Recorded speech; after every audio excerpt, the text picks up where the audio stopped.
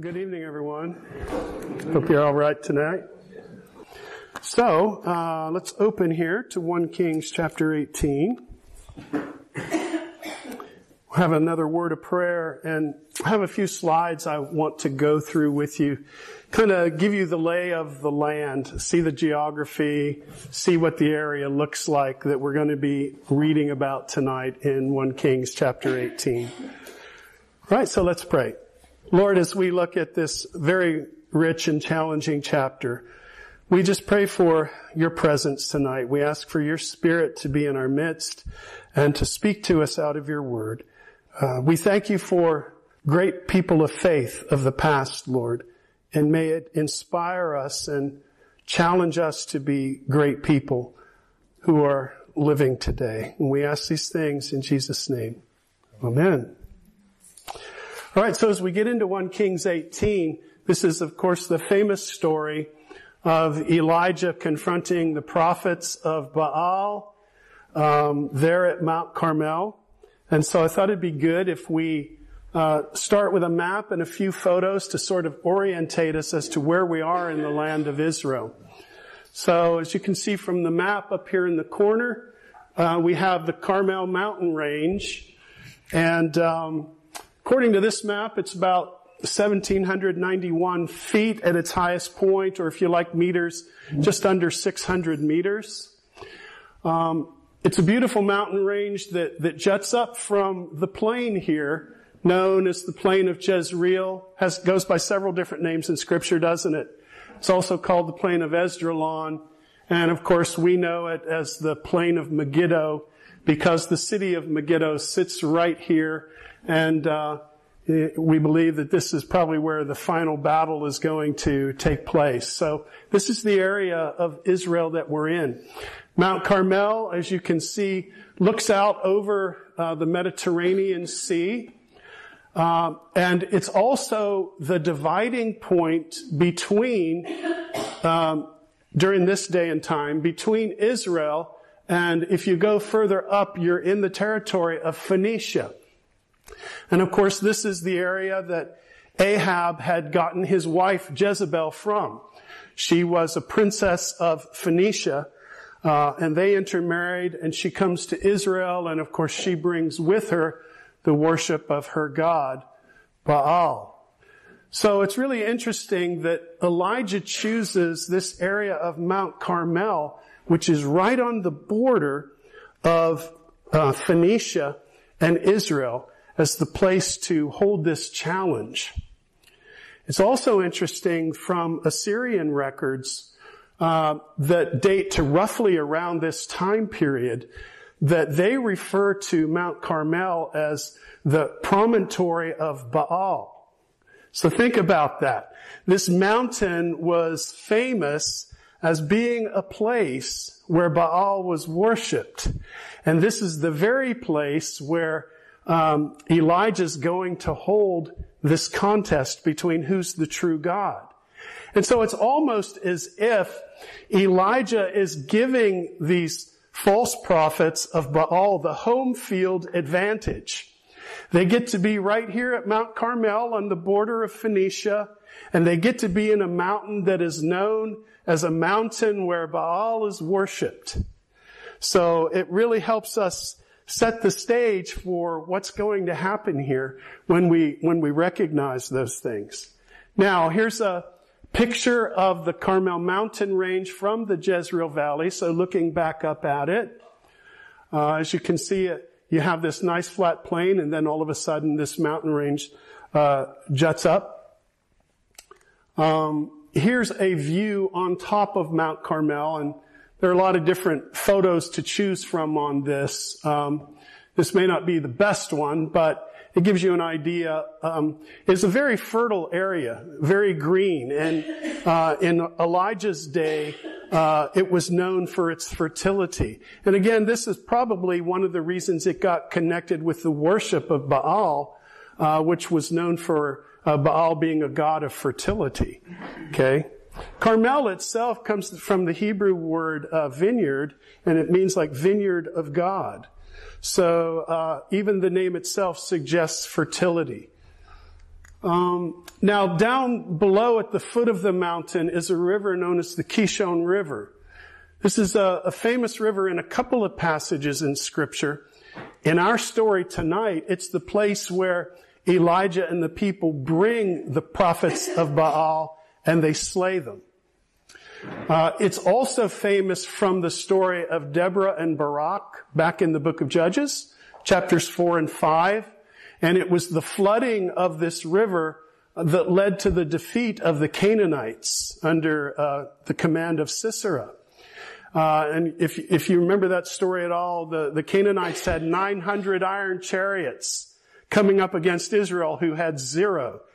Uh, and what chance did it look like that Israel had to win the victory? But the Lord brought a thunderstorm that flooded the river Kishon uh, that caused the chariots to be of no use to the Canaanites, and Israel won a great victory. So at the end of the story tonight, uh, Elijah tells Ahab, get in your chariot and get down the mountain and go to the city of Jezreel because it's going to rain. And when it rains, the Kishon floods and the chariots are useless. So he tells Ahab he better be on his way because rain is coming. Here's a view from the top of Mount Carmel uh, looking down at the valley, and you can see a number of famous sites from this area. We we mentioned Jezreel. This is uh, one of the ancient capitals of the northern kingdom of Israel. And uh, even though Ahab had moved the capital to Samaria, uh, this seems to be an area that he continued to go to. You know, kings often have several palaces, right? The queen doesn't just live in one place here in the UK, does she? She has palaces throughout. Uh, and if you know anything about King Herod in the first century, he had palaces throughout the land of uh, Israel. Well, the, the same with King Ahab, several residences, and Tel Jezreel is one of them. And this is the place uh, when the thunderstorm is about to come that Elijah says to Ahab, you need to get in your chariot and get moving and go to Jezreel. And from the top of Mount Carmel, to Jezreel, it's about 17 miles. Okay? So it's, uh, it's a little bit of a journey. Uh, and we're told that Elijah ran uh, in front of the chariot. So through the spirit of God's hand being upon him, uh, he took a little 17 mile jog himself from the top of Mount Carmel to uh, Tel Jezreel. Right. Okay. So I know that uh, Last week, James talked a little bit about the, the attraction of Baal worship. Uh, and I just want to mention a few things tonight. Why would Israel be drawn away from the worship of their God to this God? And uh, archaeologists have actually discovered some images of Baal and we have a lot of Canaanite literature that actually gives us a lot of information about who the Canaanites believed Baal to be and how they worshiped him and so on. Uh, so here's a, uh, here's a stone uh, inscription uh, that shows an image of Baal. Uh, as you may already know, he was the Canaanite storm god. Here he's pictured holding either a hammer or I, it looks to me more like an axe. Uh, and it says here that the Israelites were repeatedly reprimanded for participating in his worship. Um, here is a statue that was uh, discovered in an archaeological excavation, and you'll notice here that Baal has his hand raised, uh, and they believe what might have been in his hand would, was a lightning bolt, because again he was the, the god of the thunderstorm, uh, and pictures of him often show him like with the hammer or the axe and also with a lightning bolt in his hand. Um, this is a quote from some of the Canaanite literature that has been uncovered. And it says, Baal can send his rain in due season. Shout aloud in the clouds. Shoot his lightning bolts to the earth. So think about this. In chapter 17, which you guys studied last week, uh, Elijah said there's going to be no rain in the land until my word. Right? So this is a direct challenge to the worship of Baal, who is seen by uh, the Canaanite peoples to be the god of the rain, the god of the thunderstorm. So who's really in control? And this drought period is all about teaching Israel that the Lord's the one who's the true God, the one who's in control. Uh, so what was the appeal? Uh, this comes from a commentary by a guy named Dale Ralph Davis. Um, number one, he says it's royally sanctioned, right? And I think uh, James may have mentioned this one last week, in fact. Um, so, because of Ahab's married, marriage to Jezebel, um, that means that you enter into a, a, covenant agreement with her father, the king of Phoenicia, uh, and it also then means compromise and bringing in the worship of their gods, which Again, you guys uh, read last week how Ahab built some temples to Baal, right? One, I believe, in, in Samaria itself. So, you know, the people could say, well, you know, it's a legal religion. Uh, it's sanctioned by the king and the queen. Why wouldn't we worship this God? And I think there's a lesson there for us because sometimes things are culturally acceptable. Or sometimes some things are legally okay. But it doesn't mean that we as believers are to sanction those things. Well, the government says it's okay. Well, okay, but we need to check it against God's word, don't we? And make sure that God says it's okay. Uh, just because the government says it's okay doesn't necessarily mean it's the right thing to do. Secondly, there's the appeal of tradition. This isn't the first time in Israel's history that they've had problems with worshiping Baal. If you go back to the book of Judges, this was a huge problem back then. And so the people could say, look, we've been worshiping him for hundreds and hundreds of years. Uh, so we not only have the sanction of the government, but we have this long history and tradition of worshiping Baal. Third, there could be an appeal to relevance. Again, he's the storm and fertility God. Uh, so the Canaanites teach that he's the one through giving the rain that brings fertility to the crops.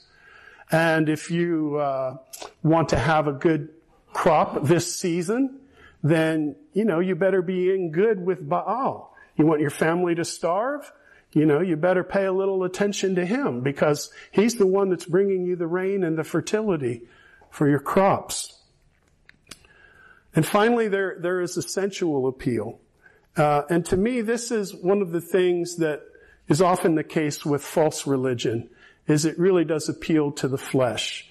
And the worship of Baal appeals to the flesh in several ways. First of all, it appeals to the belly, because if he's the rain god who, who brings the crops for you to eat, then you want to uh, please him. But secondly, as, as we'll see in this next little section I'm going to put up, um, there was also uh, this idea of going to the temple of Baal, and one of the ways in which you would worship him would be to engage in um, sex with a temple prostitute. And through enacting the sexual act, you're enacting an act of fertility. And it's believed that you influence Baal then, or Baal, to uh, bring fertility upon you, both not only in your crops, but in having a large family. So this sensual appeal would have been huge. Um, some people love the idea of being able to say, hey, I'm very spiritual, and yet indulge in all of their senses, right? And do whatever they want. Um, I think that this is one of the uh, appeals of New Age uh, spirituality. Uh, and I don't know how strong that movement is. It was really big back in the 90s, 80s, 90s, and so on. But, um, you know, you had these people who felt very spiritual, um, and yet they would indulge all of their fleshly desires and senses. And so it, it gives this person the illusion that they can, you know, do anything they want and yet still be very spiritual. And so the worship of Baal had a similar type of appeal to it. Oops, I didn't know that would all jam together there. Didn't on my screen. But anyway, I'll just read this to you rather quickly. So you'll notice I've been pronouncing this Baal. If you want to pronounce it Baal, that's fine, because Baal is the, the English way of pronouncing it. Baal is the Hebrew way of pronouncing it. And what it means is Lord or Master. in Phoenician, and it was a term used in the Old Testament to refer uh, to this Canaanite god. Uh, he bears the titles of Rider of the Clouds, Almighty, and Lord of the Earth. So you can understand how the worship of Baal would conflict greatly with the worship of the Lord. Because all of these titles are really the true titles of the Lord, right? Uh, he was the god of the thunderstorm, as we've mentioned, the most vigorous and aggressive of the gods, and he was believed to reside on Mount Zaphon in Phoenicia. Archaeological evidence, uh, there are a lot of different manifestations of Baal. So uh, here we have Baal Hamon. Uh, you've heard Baal Melkart, which is uh, part of the incarnation of Jezebel's worship of Baal. Sometimes the, the extra names attached to Baal have to do with worship in different places or different characteristics of him.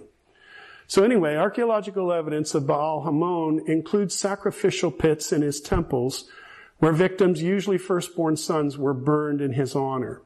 This was in fact a fairly common practice in most of the Mediterranean area, notably among the Egyptians and the Carthaginians. Now the Carthaginians are a Phoenician people who left Phoenicia and settled on the northern coast of Africa. And they later became a rival kingdom to Rome. You know the story of Hannibal and the, uh, the Punic Wars between Rome and uh, the Carthaginians.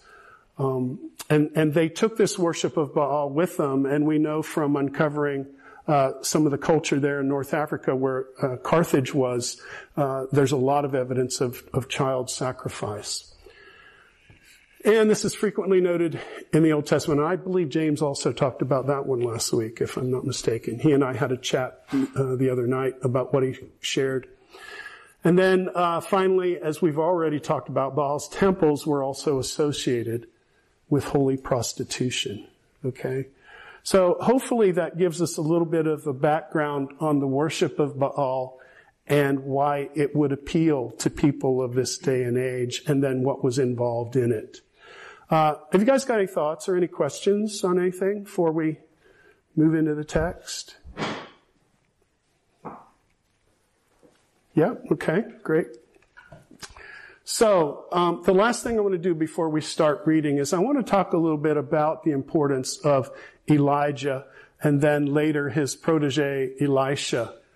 Um, this really uh, impressed me as I studied through the book of Kings. So the book of Kings spans nearly 400 years of history, right? Not quite 400 years, but very close from uh, the death of David on down to the destruction of the temple of Jerusalem. The ministries of Elijah and Elisha span about 40 of those years. And their story is contained in 1 Kings 17 through 2 Kings chapter 12. Now, if you count that up, that's 18 chapters. Now, Elijah and Elisha don't appear in every single chapter, but almost every one of these chapters. Now, here's my point. Number one, you'll notice that um, these 18 chapters are in the heart of the book of Kings, right smack dab in the middle of the story. And so that sort of draws attention to their importance, the fact that it's right here in the heart of the book. The second thing is, is that um, this 40 year period is only one tenth of the entire history covered by the book of Kings. And yet, 18 chapters are spent on it. So that tells you how significant the ministries of Elijah and Elisha were to the northern kingdom of Israel. That the inspired writer would spend this much time on such a short span of history. Okay? So hopefully that gives us a little bit of perspective as to the significance uh, of the ministry of these two prophets. Right. Okay. Now we're going to begin getting through the, the chapter. So I'll, I'll put up the verses that we're doing as we go through and we'll produce a little outline as we go. So in verses 1 and 2, we're introduced here in the story. It says, And it came to pass after many days that the word of the Lord came to Elijah in the third year saying, go present yourself to Ahab and I will send rain on the earth. So Elijah went to present himself to Ahab and there was a severe famine in Samaria. Right. So it's been now a total of about three years and there has been a drought in the land. Um, we're not used to too many droughts here in the UK, I don't guess. Last summer was about the closest that I've ever experienced. We actually saw the grass turn brown. And Gloria and I have been here for almost 16 years now. We've never seen brown grass in the UK until last summer. Um, so it's unusual here. And because we live in a modern society where we can go to the grocery store or we can order food on Amazon or whatever we desire, we also don't understand the, the severity and significance of what a drought can produce. But in Israel, to not have rain for three years is extremely serious. And remember that in these days and times, most everyone grew their own food. And so if, um, if your farm fails and you don't have enough produce to feed your family for the year, what are you going to do? You know, you're going to have to try to find it from someone else and become in debt to them. And then of course, uh, if they're living near you, they're having the same problems. And so the problems just compound themselves. Uh, I remember one year when we were visiting in Israel, we went to the Temple Institute there, and it was a rainy day in Jerusalem. I'm just thinking to myself, oh, why does it have to rain? You know, it's just ruining my beautiful day in Jerusalem. Rain, rain, rain. And I was kind of grumpy about it. and we go into the Temple Institute and there was, there was a lady explaining, uh, the various things in there to us and she says, isn't it just wonderful that it's raining today? And I thought, well, this is a different attitude than the attitude I'm sporting. She said, you know, in Israel, we depend on the rain. There are a few uh, rivers, right? But those rivers are fed by the rain that falls and then the snow that melts from uh, some of the higher mountains. And so uh, Israel is very dependent on its rain. And I learned never to complain about rain in Israel uh, after that. And so this is an extremely serious situation to go three years and have no rain have this drought going on. So we're told that Elijah goes to present himself to Ahab. Where's he been? Where's the last place that Elijah was? He was fed by a raven. Yeah. At the book Cherith. And then he moved on to somewhere else because the water was drying up and he went right to the widow and her son in uh, the town of Zarephath, which is in what country? Phoenicia, the very country that Jezebel is from. The heart of Baal worship country. And while he's there, God miraculously continues to feed not only him, but the widow and her son. And then her son um, comes down with some horrible uh, sickness or something and, and, dies, doesn't he? And um, Elijah raises him back to life. And this widow says, now I know that you are a true man of God who speaks the true word of God. And so Elijah experiences a convert to the Lord in the land of Phoenicia. And he comes back to the land of Israel and it's a land of unbelief for many. Certainly their king is not a strong believer. Uh, and certainly the people that Elijah is going to challenge later on are not believers in the true God, at least not strong believers in the true God. So the reason I point that story out is because it's sort of interesting uh, to always compare um, why stories are linked together. You know, as you start to read the next story, bear in mind the story that came before. This is the story of conversion of a pagan who lives in Phoenicia, who's come to know the true God. And now the irony of returning to Israel, this land of unbelief.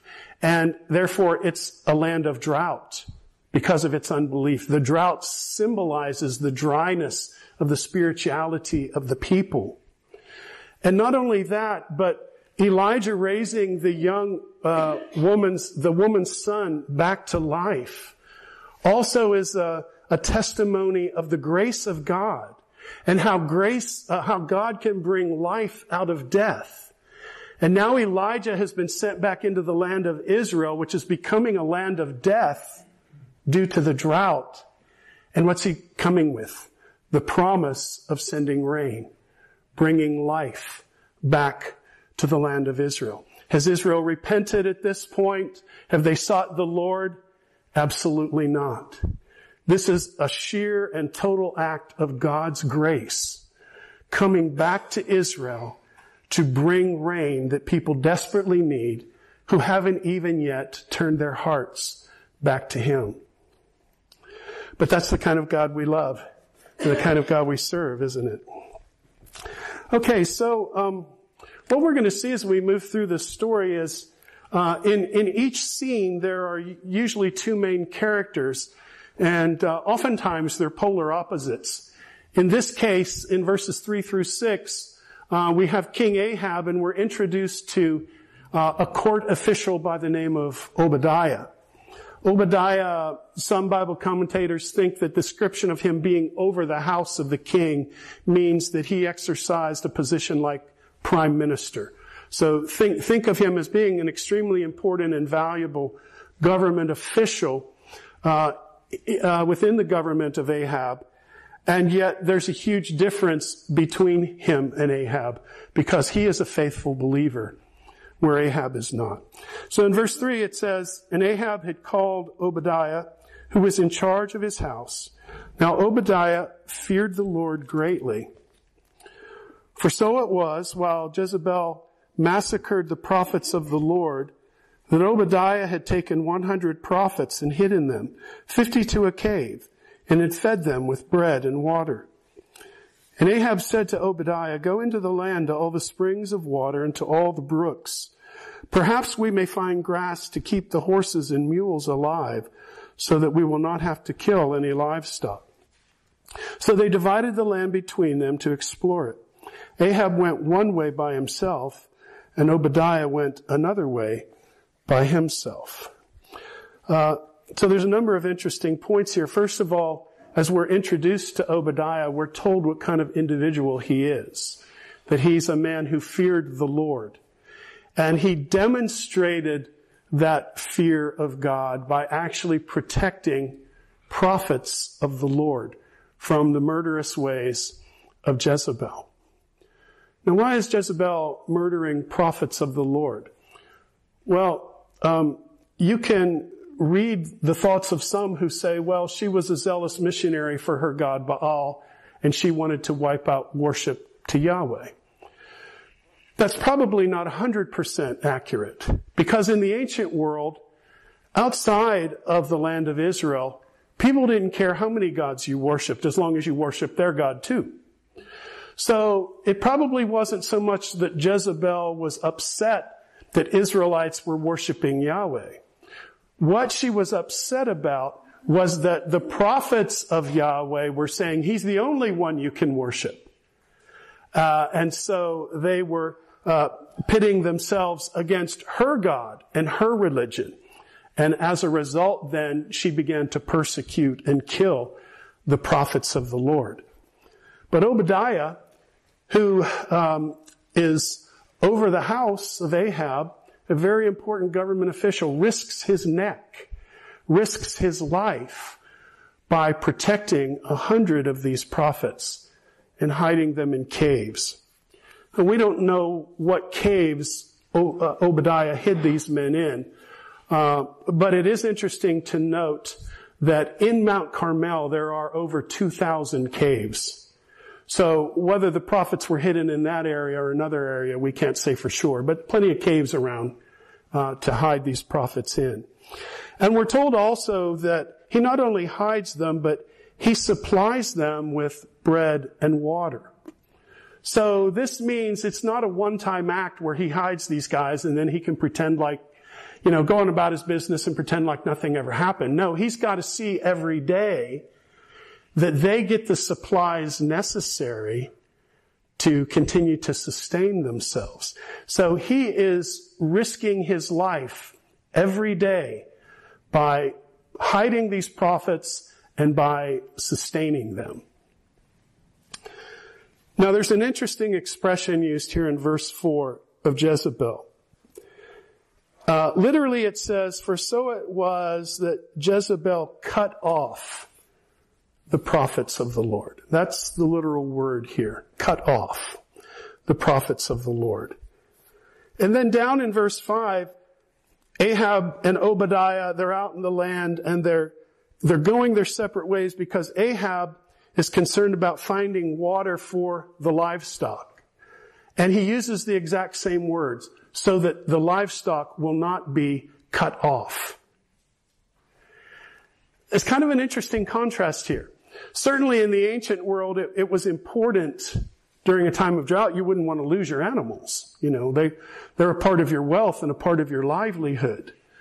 But it's an interesting contrast here that while Jezebel is cutting off the prophets of the Lord, and Obadiah has great concern for that, Ahab doesn't seem to share that concern for cutting off the prophets of the Lord. His concern is the cutting off of the animals, his wealth, his power, right? So there's a very interesting contrast going on here. Now the Hebrew word that's used here is from the Hebrew word karat, which means to cut. And the reason I mentioned that is the form of it here is karit. Where was it that Elijah was first taken uh, in chapter 17 after he pronounced the drought? It was through the brook Karit. Uh, that's how it's pronounced in Hebrew, Cherith or whatever in, in English. So it's the, it's the same form of the word. And so this word of cutting off, used here of Jezebel and Ahab, it reflects back on when Elijah was at the brook being fed by the ravens. And so we have Obadiah acting like the raven, feeding the prophets of God and providing for them just as God was providing for Elijah to see that he not get cut off by sending the ravens to uh, provide food for him. So this word has a lot of interesting connections, both with the previous story in chapter 17 and then the contrast here uh, in these verses with one another. Now, uh, it says in verse 6, so they divided the land between them to explore it. Ahab went one way by himself, and Obadiah went another way by himself. I've learned not to take an expression like that for granted in scripture. Now, certainly it's speaking of a literal geographic separation. Ahab going one direction and Obadiah going another.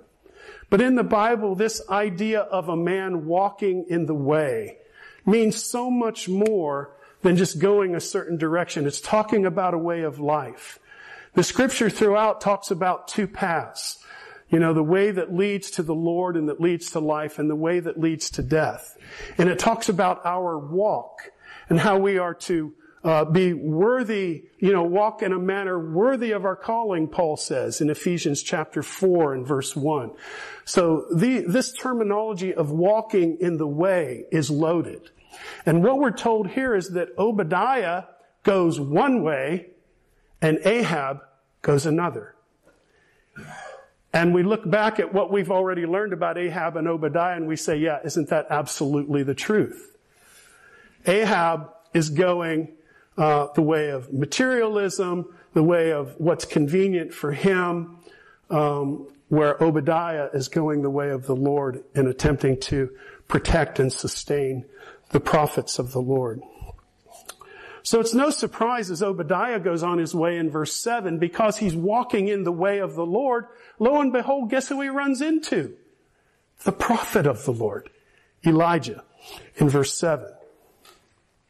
So in 7 through 15, we have a little bit of a, a comparison here between Obadiah and Elijah.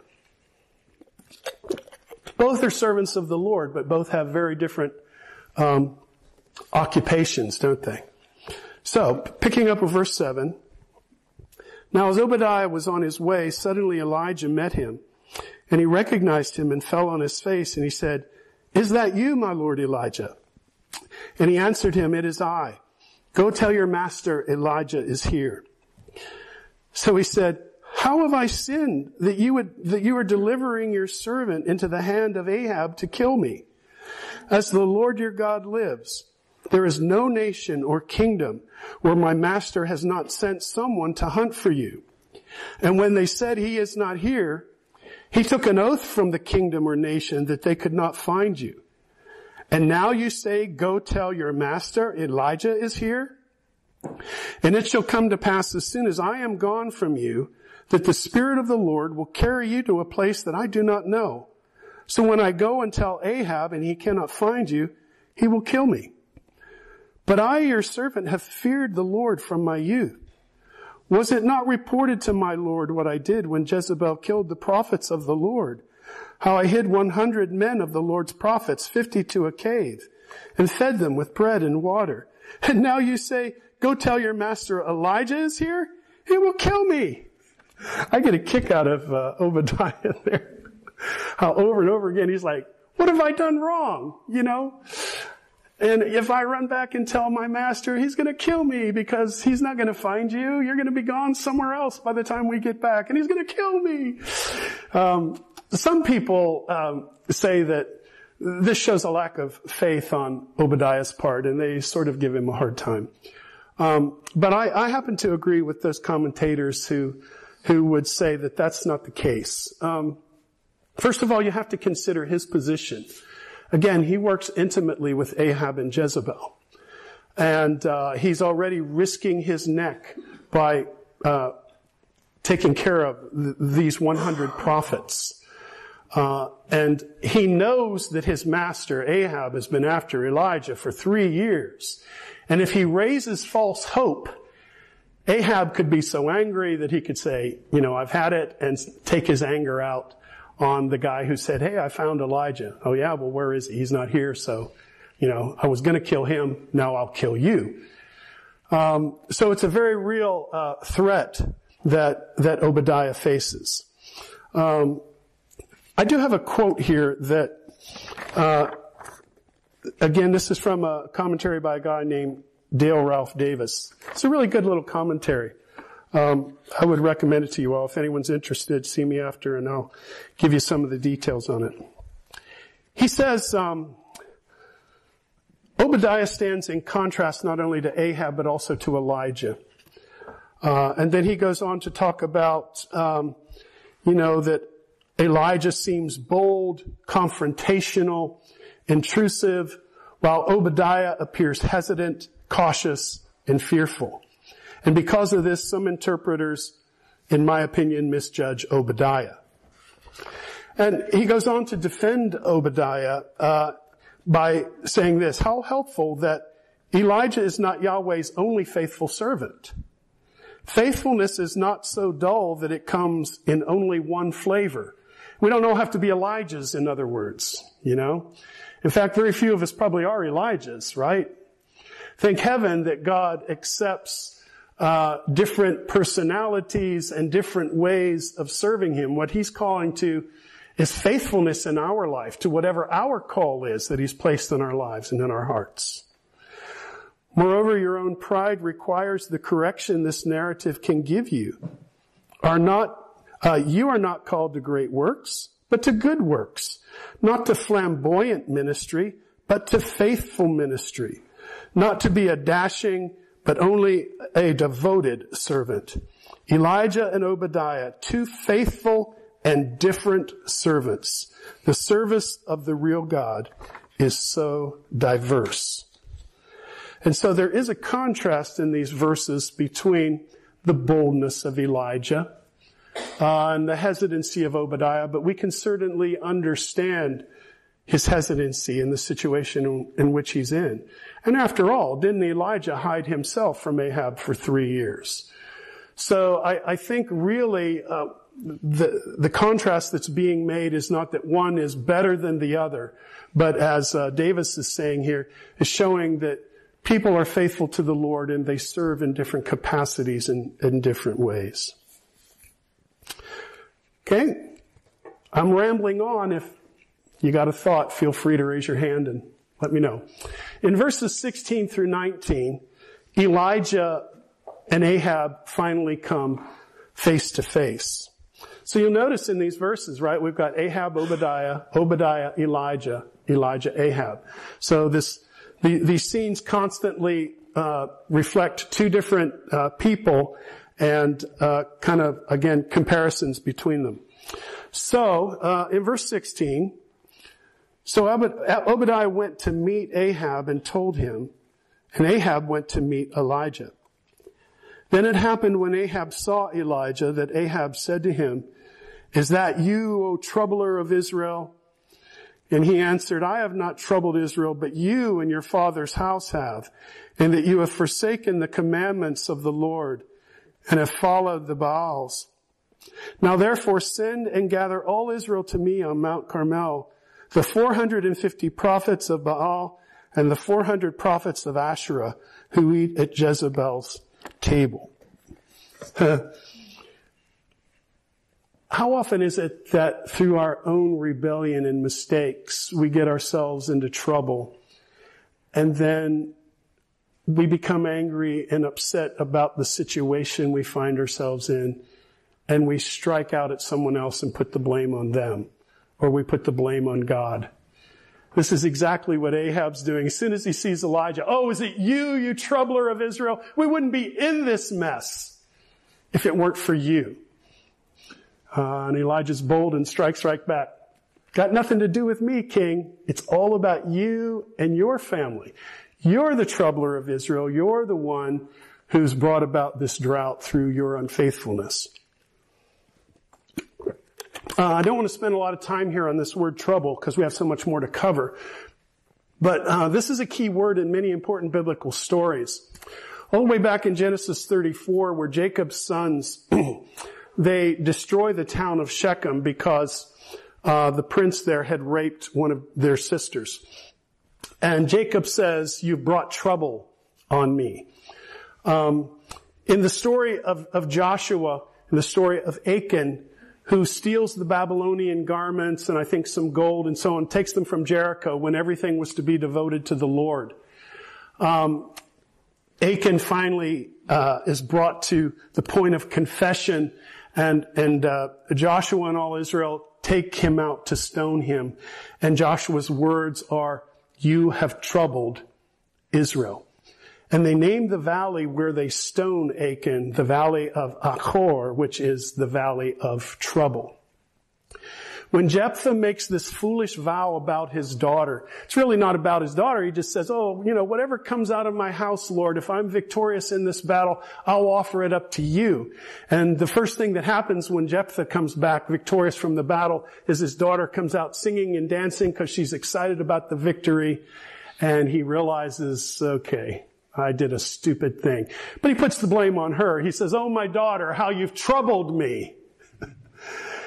um, Jonathan says the same thing about Saul in 1 Samuel chapter 14 when Saul uh, puts an oath on the people that they're not to eat until he's gained a complete victory over his people. And Jonathan takes a little bit of honey, not knowing that his father had made this oath. And Jonathan says, my father has troubled Israel. So there's all of these stories in the Old Testament that revolve around this significant word.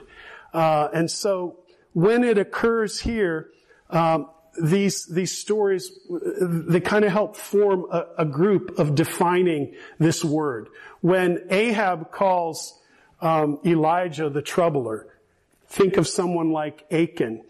Uh, or, or think of someone like Jephthah who brought trouble on himself through his vow.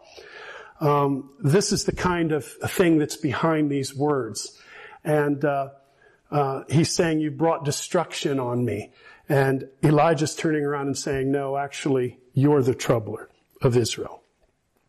Right. So, uh, in verses 20 through 40, this will help us pick up a little ground, huh?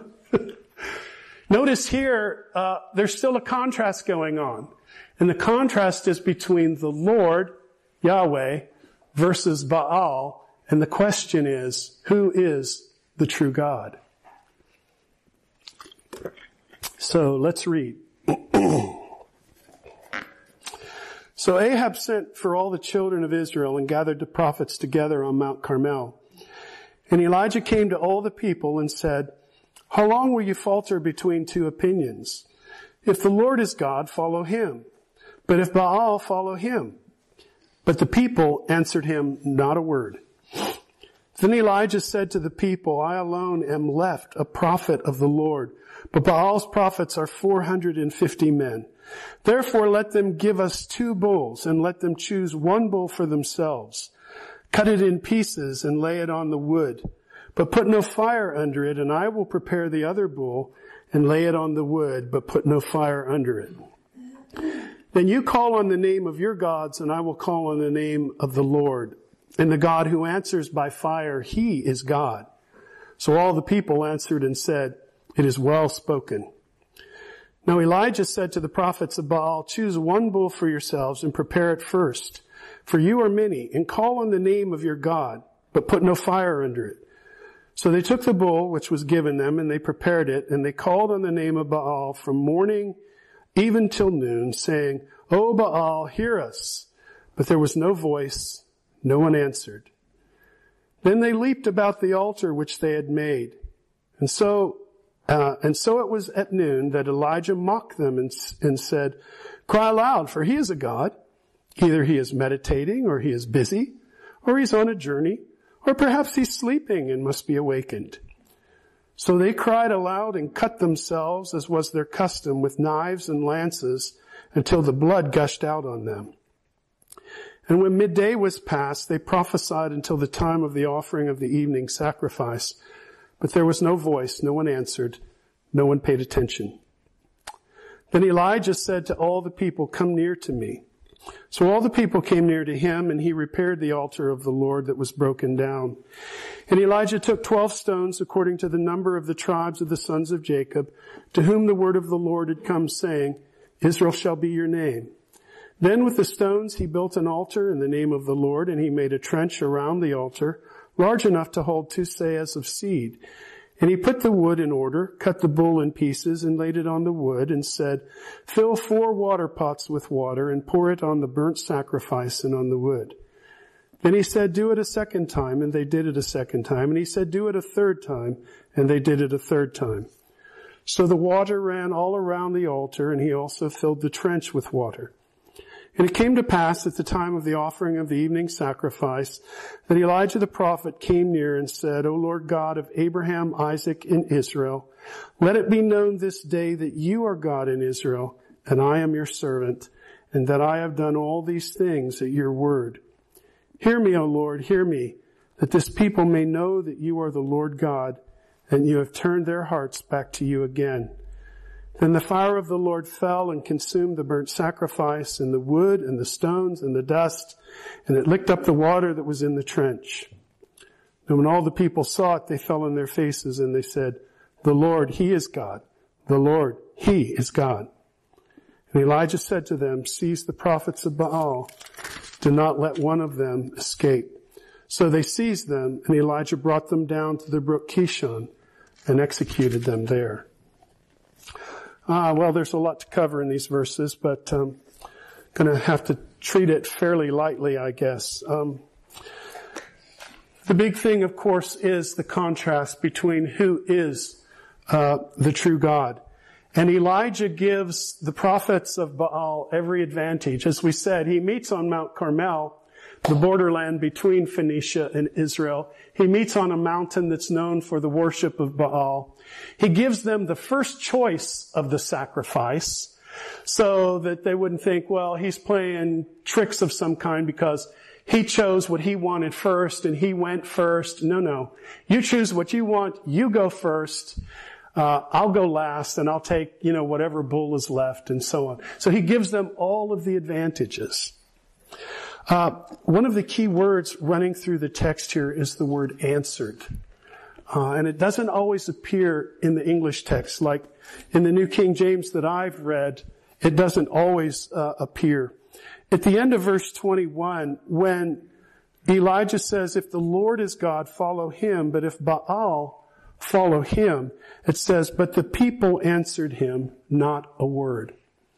First of all, that says so much about the hearts of the people there, doesn't it? They're not willing to commit one way or another. Uh, they're they're uh, spectators. They're sitting on the fence, waiting to see uh, what what will happen. So there's no real conviction or commitment from them. So the people don't answer.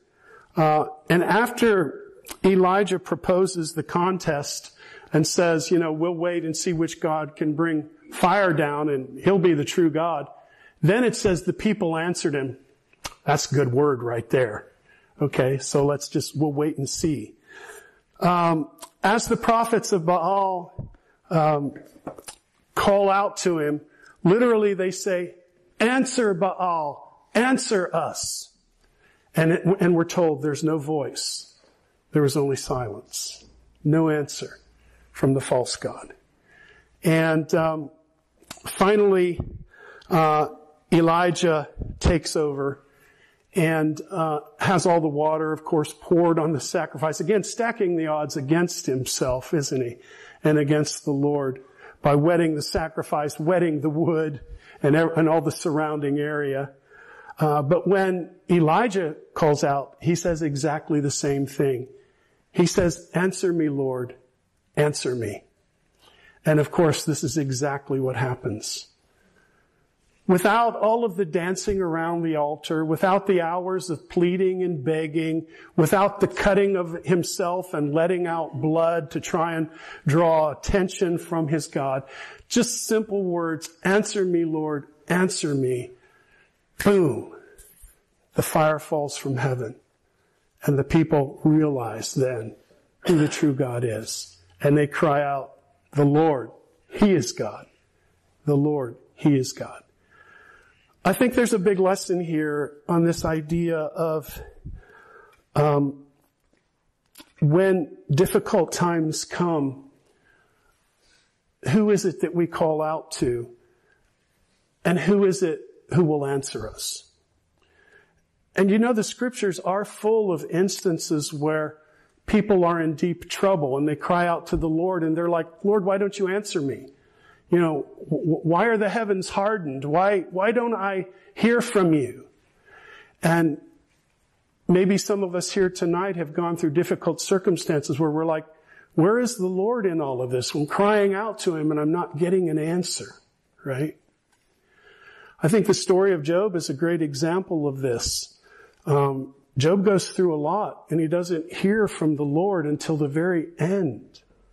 But the point is that if there is silence from the Lord, there's a purpose in the silence. But God will, and God is actually the only one who can answer and provide an answer. Um, we had a good friend uh, write us today about her son who's dealing with some brain cancer, and it's disillusioned him and turned him away from the Lord. He he says he feels alone, and my very thought was, well, who else could you turn to if you don't turn to the Lord in a situation like that? Who else can answer you? You know, what other hope is there? Even if, even if you lose your life, um, there's hope with the Lord beyond this life, but there's no one to answer and there's no hope at all if you forsake the Lord. And to me, this is one of the great lessons of this story, that God is a God who answers, and God will answer. Sometimes he stretches our faith. I'm sure people prayed for three years for the drought to end. And there was silence in heaven from the Lord. Right? But at the right time, God did respond and God did answer. Right. Well, uh, wish we could tarry more on those verses, but we'll hasten to the conclusion of the story here in verses 41 to 46. Then Elijah said to Ahab, go up, eat and drink, for there is the sound of abundance of rain. So Ahab went up to eat and drink, and Elijah went up to the top of Carmel. Then he bowed down on the ground and put his face between his knees. And he said to his servant, Go up now, look toward the sea. So he went up and looked and said, There's nothing. And seven times he said, Go again. And it came to pass the seventh time that he said, There is a cloud as small as a man's hand rising out of the sea. So he said, Go up, say to Ahab, prepare your chariot, and go down before the rain stops you. Now it happened in the meantime that the sky became black with clouds and wind, and there was a heavy rain. So Ahab rode away and went to Jezreel. Then the hand of the Lord came upon Elijah, and he girded up his loins and ran ahead of Ahab to the entrance of Jezreel. So here's a great example of the very thing that we talked about.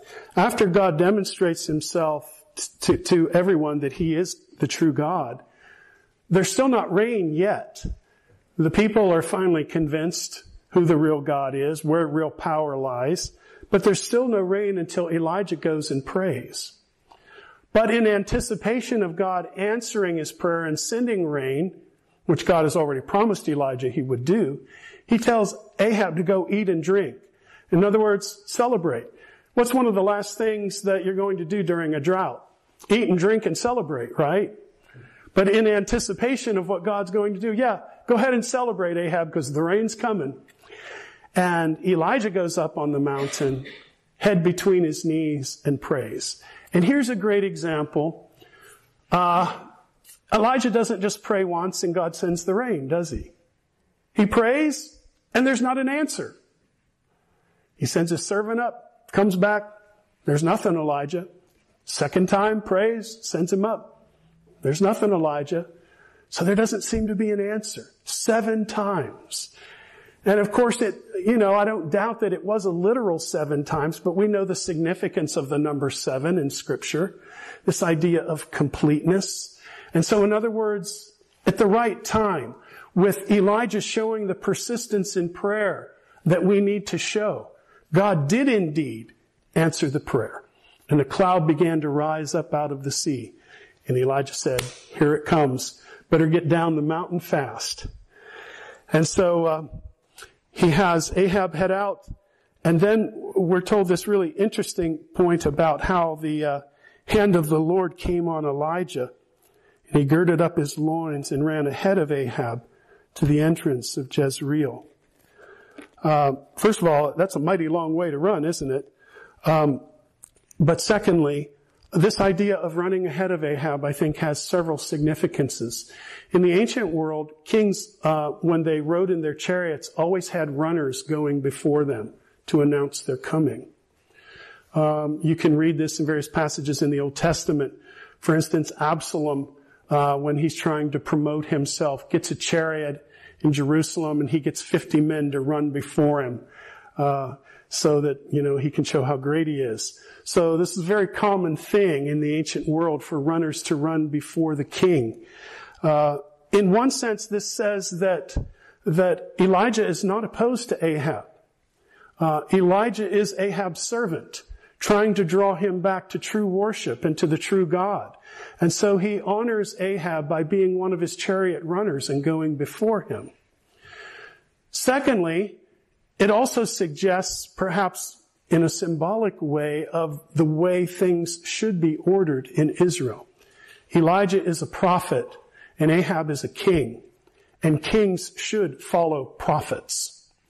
And when kings follow prophets and the word of God, then the nation is blessed.